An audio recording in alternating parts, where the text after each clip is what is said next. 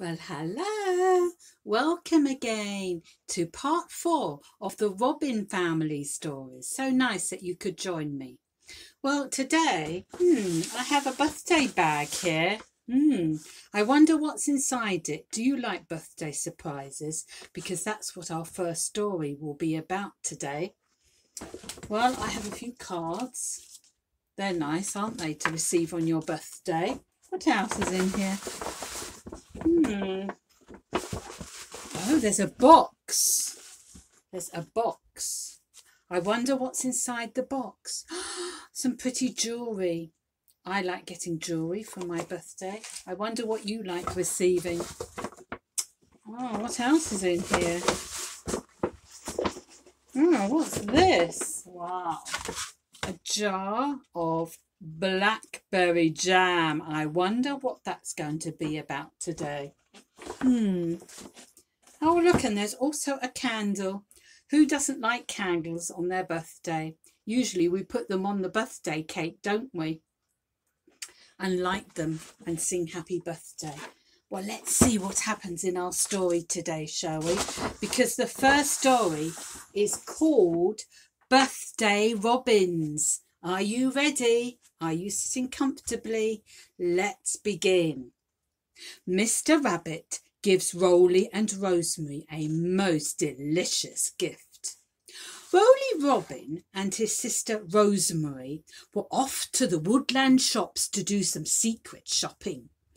What do you think Roly would like for his birthday, Daddy? Rosemary had asked his father. What do you think Rosemary would like for her birthday, Mummy? Roly had asked his mother.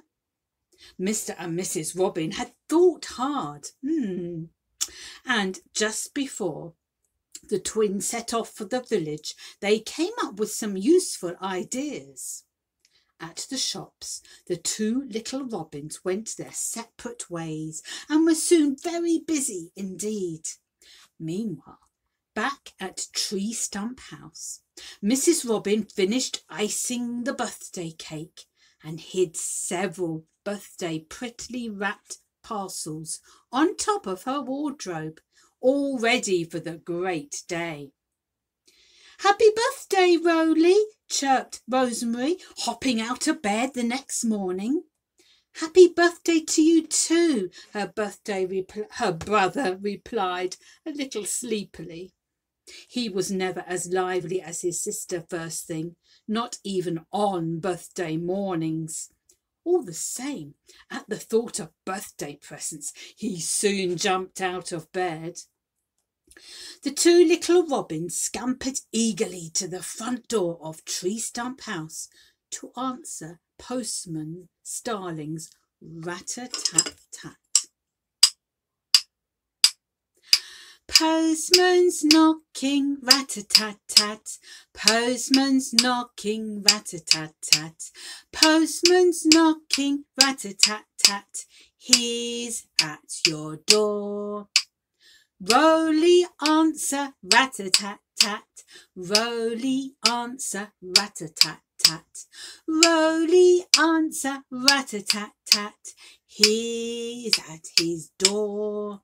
Mm and they thoroughly enjoyed opening the cards and parcels that had arrived.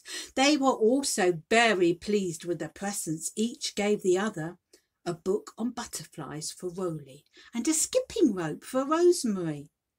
They set off for school, and all the way Woodlanders wished the two little robins a happy day. And when they arrived at Miss Owl's school, Everyone sang happy birthday.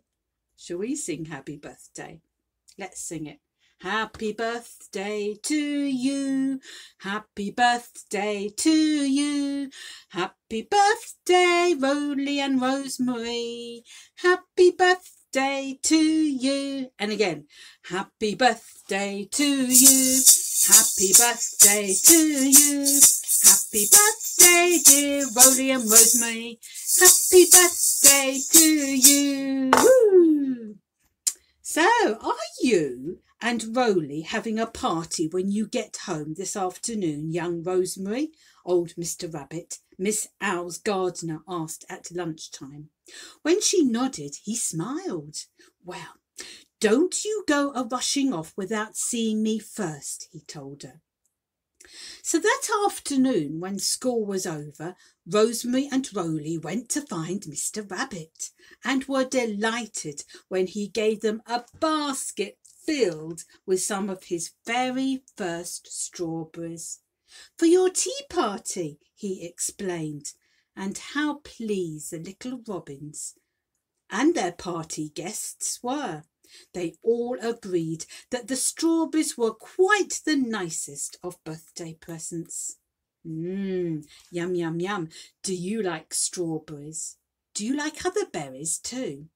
I had some blackberry jam in here because I went a picking it. Hmm. no, actually, that's not quite true. Ben and Ruth went picking blackberry jam the other day and brought me not the jam, sorry, the blackberries, and they brought them back and I washed them and made some jam with them. And that brings me on to my next story, which I was going to tell you.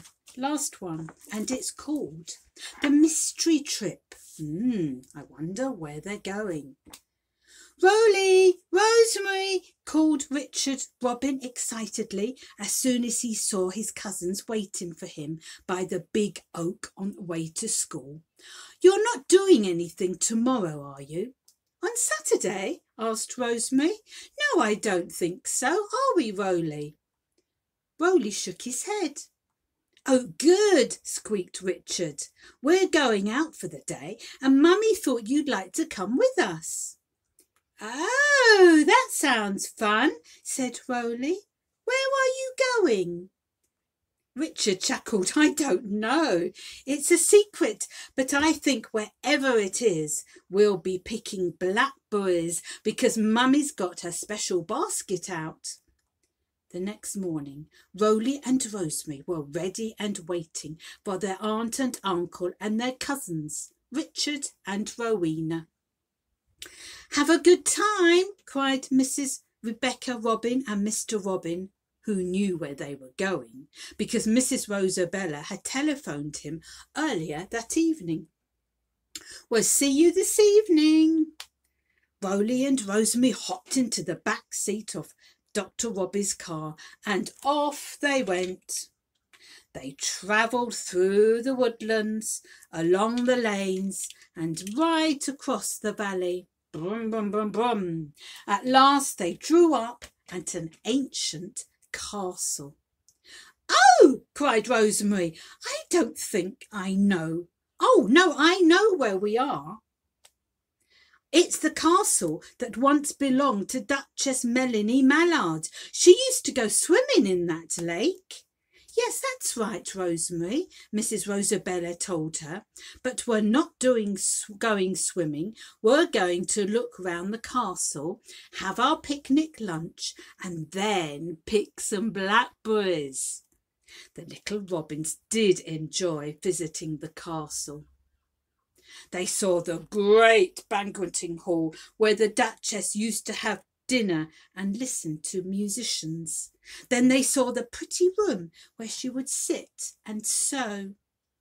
After that, they walked round the battlements and thought what fun it must have been to live in the Duchess's castle. But I don't think she ever had a picnic or picked blackberries, smiled Dr. Robby. And the four little robins and Mrs. Rosabella agreed that was that that was fun too. Do you enjoy picking blackberries? I bet you do. When you can go off and get find some, you have to look hard for them, don't you? Well, that's all for today from Nannie. I hope you enjoyed those stories. And if you haven't listened to the um, other three episodes, do find them on YouTube and watch them too. But otherwise, I will see you next time with part five of the Robin family stories. Bye for now. Bye bye.